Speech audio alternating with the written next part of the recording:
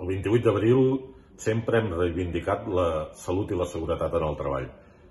I aquest any més, però sobretot aquest any el que volem fer primer, agrair a totes les delegades i delegats de la UGT que centre de treball a centre de treball heu estat defensant la salut dels vostres companys i companyes de feina. Nosaltres, en salut i seguretat en el treball, ho tenim molt clar.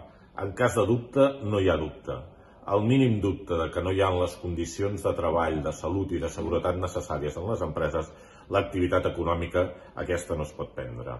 I per tant, el que demanem és que siguiu en aquesta feina i que centre treball, centre treball, aconseguim que la salut sigui el que marqui, que no marqui ni accidents de treball ni coronavirus. I també al mateix temps estem en l'1 de maig. Els dos principals missatges és salut i treball i així la UGT és el que farem, garantir la salut i la vida dels treballadors i treballadores i garantir el treball dels treballadors i treballadores.